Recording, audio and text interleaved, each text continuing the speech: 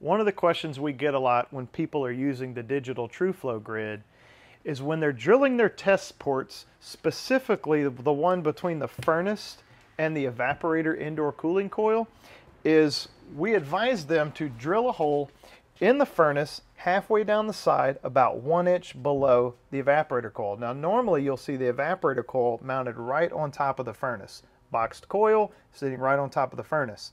I don't advise people to drill into the evaporator coil because that could lead to spring a leak. We don't want to do that. We want to go right into the furnace about one inch down, drill right through that cabinet, midway, anywhere up in here is fine, poke a hole. Now you'll notice in through this plexiglass, more than likely there will always be a nice gap between the heat exchanger. So you don't run the risk of really getting into that heat exchanger. One thing we're also going to show you is we're actually going to destroy this heat exchanger today in this training lab. I'm going to show you how hard it is to actually put a hole in one of these new model heat exchangers. So let's just see how long it takes to get through this heat exchanger.